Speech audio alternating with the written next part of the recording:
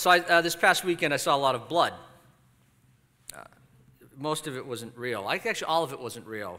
Um, our new neighbors, John and Robert, made a haunted house in their yard, and, and the streets of, of Fullerton um, are legendary for these extravagant Halloween stagings. Thousands of, of people come descending on our neighborhoods, young and old, and in, in, in these extravagant costumes. And this past weekend, I saw swords coming out of heads. I saw bloodied corpses, dangling skeletons, impaled zombies, headless ghouls, and tombstone after tombstone. I think you get the picture.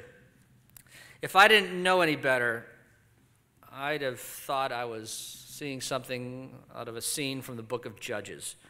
Um, yeah. That's actually where I'm going today. So, it's the end of my transition. Um, yeah. For some reason, preachers avoid the gruesome stories of judges, except for Samson. Samson's this like epic superhero in the Christian faith, and so he gets a lot of attention. But, but Ehud doesn't. He's a, the, the southpaw that went into the king's palace and with his sword stabbed the king so deeply that the excrement flew out and the sword got lodged in this overweight king's belly. Judges chapter 3. Or Jael, she had um, taken in an enemy general, and when he had fallen asleep, she went up beside him and took a tent peg and hammered it through his temple so deeply that it came out the other side and nailed his head to the ground. That's chapter 4. Or the Levite whose concubine was ruthlessly raped by the tribe of Benjamin.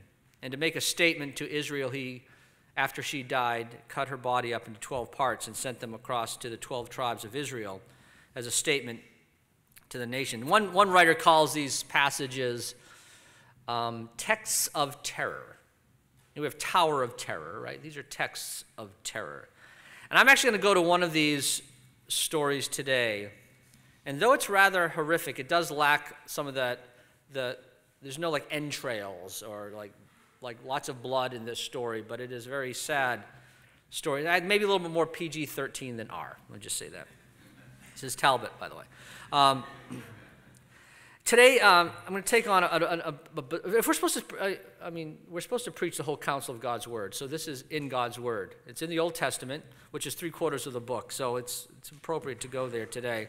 Um, but it's a seldom told Old Testament story about when a good and godly man thought that he needed help for God to do what God had promised all along that He was going to do. So, if, if you have a Bible, it would be good to have it open in front of you just so you can kind of follow along um, on your phone. On, we'll have the passage up on the screen, but I'm going to be going around a little bit on it. But it's Judges chapter 11, beginning in verse 29. Then the Spirit of the Lord came on Jephthah. And he crossed Gilead and Manasseh. He passed through Mizpah of Gilead, and from there he advanced against the Ammonites.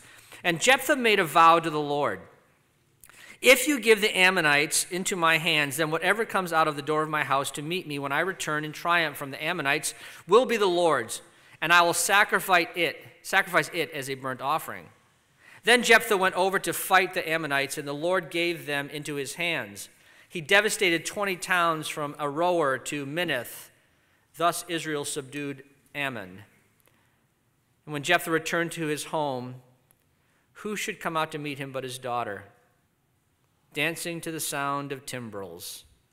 She was an only child. Except for her, he had neither son nor daughter. And when he saw her, he tore his clothes and cried, Oh no, my daughter. You have brought me down, and I am devastated. I have made a vow to the Lord that I cannot break. My father, she replied, You have given your word to the Lord. Do to me just as you promised, now that the Lord has avenged you of your enemies, the Ammonites. But grant me this one request, she said. Give me two months to roam the hills and weep with my friends because I will never marry. You may go, he said, and he let her go for two months. She and her friends went into the hills and wept because she would never marry. And after the two months, she returned to her father, and he did to her as he had vowed. And she was a virgin. And from this comes the Israelite tradition that each year the young women of Israel go out for four days to commemorate the daughter of Jephthah the Gileadite. As bizarre as this story sounds, this is the word of the Lord. And I want to unpack this confusing account of a leader who offered his daughter, his, not just his daughter, this is the only child, as a burnt offering. And, and what do we learn from this story? Well, the obvious like lesson is like don't burn your children. But if that was the only lesson, then we'd be done right now. So there's more to it than that. And that's I want to at the outset I want to take three takes on this story um, that over time have become an easy explanation, an easy way out to, to make more palatable this horrific passage. Some readers have spun this story to make it more digestible. One option is Jephthah made a, made a vow before the Lord offering a human sacrifice because he just he didn't know the Lord forbade this. Uh, he didn't know that this was against the law. In other words, he, he made it out of ignorance. He just said something and didn't realize that God didn't want him to say that. It's like, you know, driving down the carpool lane and you get pulled over and oh, I didn't realize it already turned into a carpool lane. That, so that was the ignorance excuse. The ignorance excuse was one way you can take the story. But Leviticus 18, Deuteronomy 12, both, I mean, clearly forbids human sacrifice. And, you know, perhaps he made this foolish vow because people were doing what they wanted to do. And if you don't know the law, the law of God, then how do you know that what you're doing is outside of what God's word tells you to do? That's a very reasonable response, but it's wrong, uh, at least for Jephthah. If you read chapter 11 earlier, verses 12 through 28, you'll see that Jephthah was profoundly acquainted with the law. He knew the law inside and out. He knew the Israelite history. He could recite the law, and he did that as he was kind of negotiating with the Ammonites. So ignorance was not Jephthah's mistake. A second incorrect take on this passage is that when it uses the word, whatever comes out, I will sacrifice it, that maybe, maybe he, he thought it was going to be an animal. And maybe it didn't mean it for be, to be a human. He's expecting some kind of an animal sacrifice. Some have interpreted what he said in 1131 that whatever comes out of the door of my house to meet when I return, I will offer it as a burnt offering. That maybe he meant an animal would greet him. Maybe a sheep, maybe a dog, preferably a cat. Uh, uh, maybe Jeff, uh, sorry, cat lovers out there. Just you know, maybe Jephthah never expected it to be a person. You know, in, in animal sacrifices were appropriate. These things were happening in Old Testament times, so this kind of vow would have made sense. But oh, maybe his maybe maybe his mother-in-law usually greeted him when he came home. I don't know, whatever it could be. I love my mother-in-law. Like, like she's not going to podcast this. She's you, Mrs. Wilson. I love you so much. Um, but I think most scholars, especially Talbot scholars, would agree that it was a person and it was not an animal. And though we'd like to think otherwise, Jephthah knew that should he be victorious, he might be sacrificing a family member. Well, the third misunderstanding some have attributed to the story is that Jephthah, that he never really killed his daughter. He never really offered her as a burnt sacrifice. Instead, some people have looked at verse 38 and said that they, they went to the mountains and they wept for her what? For her virginity. And not for her life, but they wept for her virginity. That maybe she was banished to the temple for lifelong celibacy and never married, never have children, and that was tantamount to losing your life. Maybe that's what he meant. Maybe he didn't really kill his daughter, but just said, you'll, know, you'll never marry and you're going to become now one of the, one of the celibates in the temple. And maybe for a young girl at that age, this was the same as death, living out her days in a convent. And as caring and as loving and as easy to digest this answer is, the truth is that Jephthah voluntarily, as the text says in verse 31, sacrificed his daughter. He did what he vowed to do. But then why does the text say that it was her virginity that her friends wept over? Well, I think the point is underscored that, like, this is his only child, this is his daughter, and, and she's never going to marry, never going to have a family. And I think that adds and emphasizes the grief and the tragedy of this very painful story. So, if those are some incorrect assumptions of the story, then what does this heart wrenching story of Jephthah tell us? How do we make sense of, of this if, if Jephthah truly knew God's word? So, ignorance was an excuse. Truly knew it could have been a person, it wasn't going to be an animal sacrifice. And truly did what he said he was going to do, not just banishing his daughter to, to a life of celibacy, but actually sacrificed his daughter. Why would he do this? Well, let me kind of jump to the end to say, like, what he did was like dead wrong in God's eyes. Okay? Jephthah didn't win the battle because his, of a vow he made, even though he thought he did, even though maybe his soldiers thought he did, and even his daughter thought that's why he won the battle. Remember what she said in verse 36 My father, you have given your word to the Lord. Do not just um, uh, do to me just as you promised, now that the Lord has avenged you of your enemies. You see, it grieved God's heart that when this leader did something so terrible, killing his only child to fulfill a vow, it was something that he should have never done in the first place. The laws of God, as I mentioned earlier, they denounce killing in this way, especially offering of human sacrifice. Deuteronomy, you shall not worship the Lord your God in that way, for every abomination to the Lord which he hates, they have done. They even burn their daughters and sons in the fire. Okay, so if what Jephthah did was an abomination to God, why did he do it?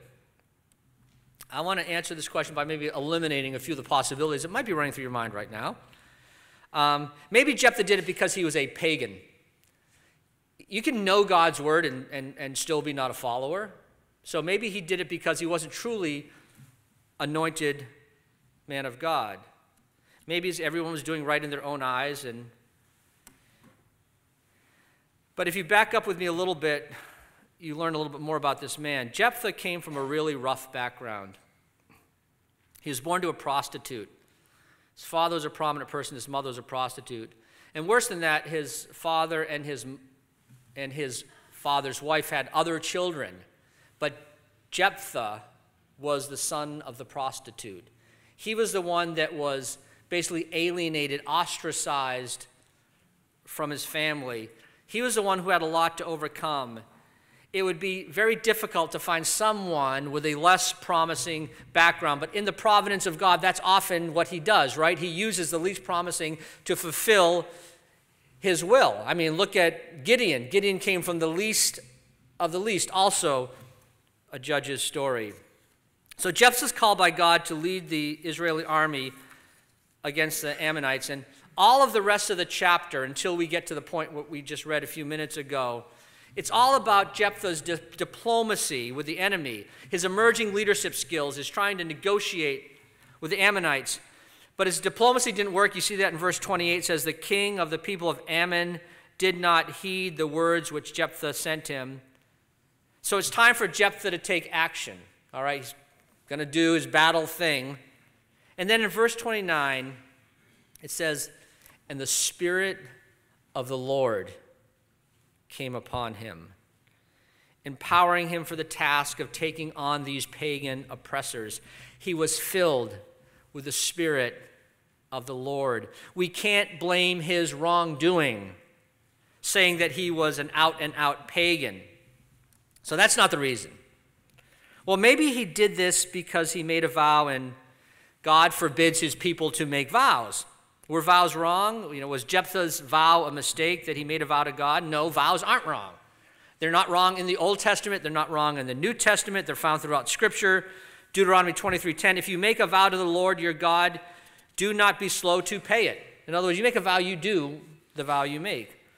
Numbers 36, Psalm 15, Acts 5, on and on. So the mistake here was not that he made a vow before God. He made the, the vow, he meant the vow, and he fulfilled the vow believing was, that God was in on this deal with him, especially after the battle was won.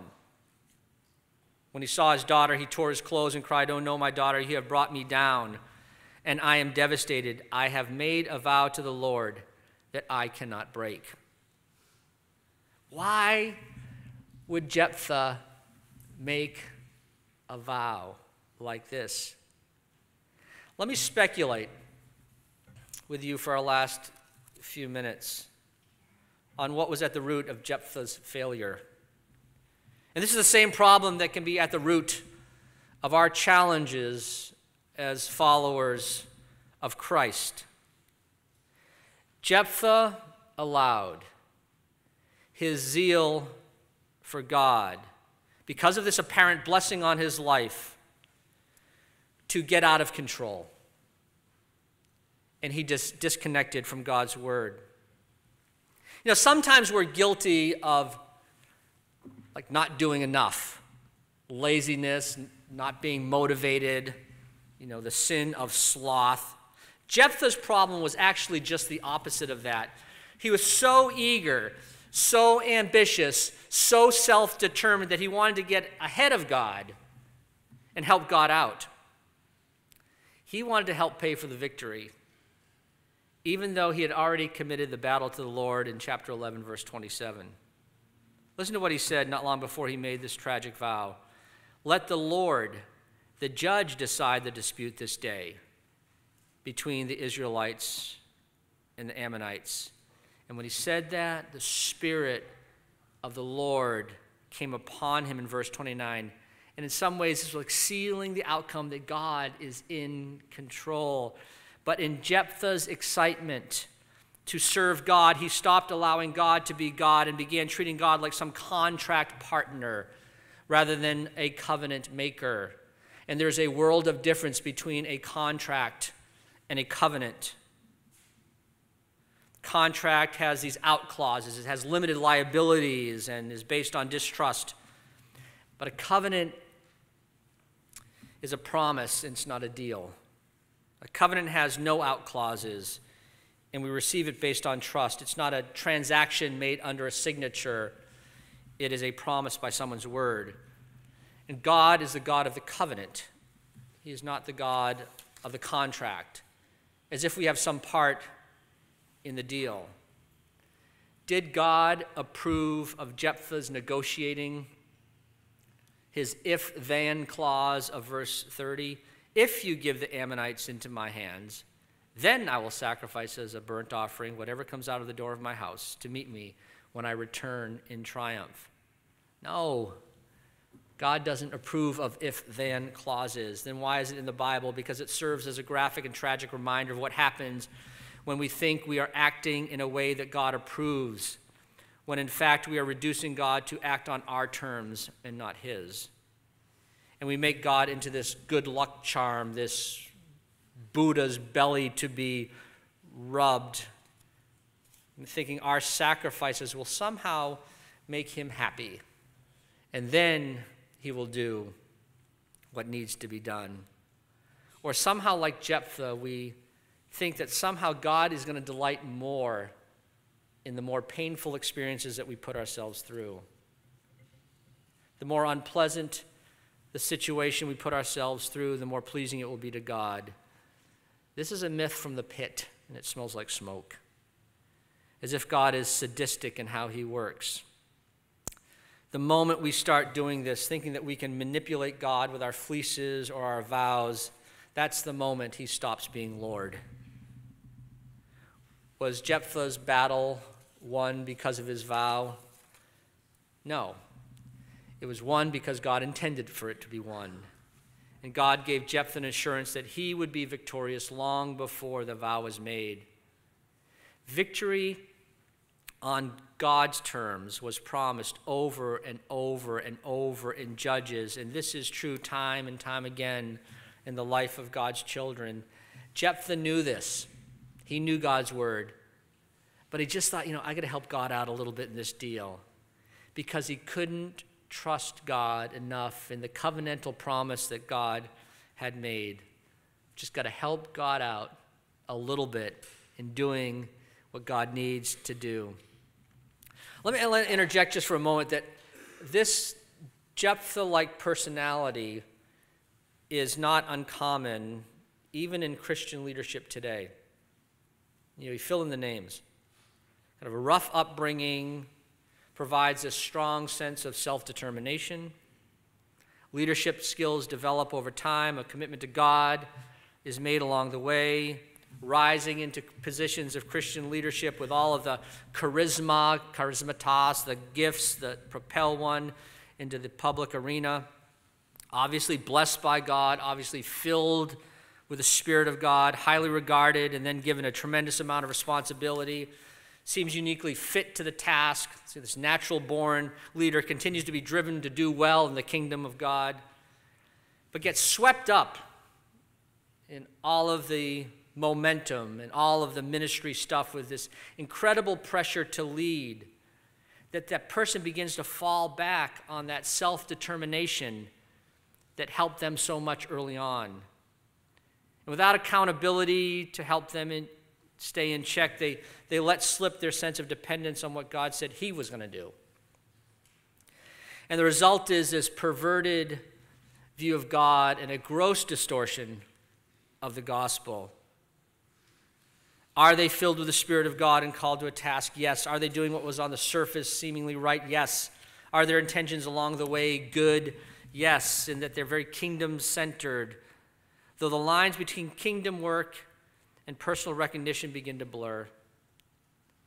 And things to begin to unravel in our lives when we believe that we can work harder or smarter to motivate God, or that we can sacrifice more to help God along the way or run ahead of God in making sure that God's purposes are fulfilled. And trying to give God some prompting, Jephthah squeezes God into the margins of his life, and the results are tragic. When our gifts outpace our character, the path is dangerous. When your gifts outpace your character, the path is tragic. And as people of God, we have to guard ourselves, or the very same thing that happened to Jephthah and countless others can begin in our own lives. Judges 11 is a story about the zeal of God gone bad. This doesn't mean that we deny God a place, but this happens when his sovereignty does not become the central place. Because deep down we imagine that God needs a hand, that he needs a deal, he needs a fleece, he needs a vow, he needs a hasty promise from us. And then we become like Jephthah vowing when we should be bowing dealing with God when we should be kneeling before God. So many of us are still deal making with God in our own lives with these if then arrangements. God, if you do this, then I promise I will sacrifice that. Does God approve of sacrifice? Of course, He approves of sacrifice. But our sacrifices are responses of gratitude and obedience. They're not part of the deal that we make with Him. To obey is better than sacrifice, David writes in Psalm 51, and to heed is better than the fat of rams. In spite of the natural gifts and experiences that Jephthah had, we need to understand and realize that God's divine enabling was behind this great victory over Ammon, recorded in verse 33. It wasn't a deal, it wasn't a vow, it wasn't some pressure Jephthah put on God that won him the victory. It was a fact that the battle belongs to the Lord. Your battle belongs to the Lord. It's not something that you're going to share, that you have part in the victory, because soon as you take a share in the victory that comes your way, that's the moment that Christ stops becoming your Lord. It wasn't a deal, it wasn't a vow, it wasn't some pressure that Jephthah put on God that won him the victory. It was a fact that God alone needs to stand as the victor. And that victory podium should not, cannot, will not be shared with anybody else. What does God say in Zechariah? It's not by might, it's not by power, but it's by my spirit that the victory is yours. I love the way Phil Yancey puts it there's nothing that you can do to make God love you more. There's nothing that you can do to make God love you less. God loves you so much. He knows your battles, He knows your struggles. God's not looking for you to help Him out, He's looking for you to trust in Him. And He wants you to live in His covenant, not be part of some kind of contract. Covenant that promises you that His ways are higher than your ways, and His thoughts are greater than your thoughts. In this is love, 1 John says. Not that we loved God, but that He loved us. God is not loving you based on your performance. If He was, He wouldn't have called His love unconditional. Don't uh, add conditions on God's unconditional love. We hope you enjoyed this message.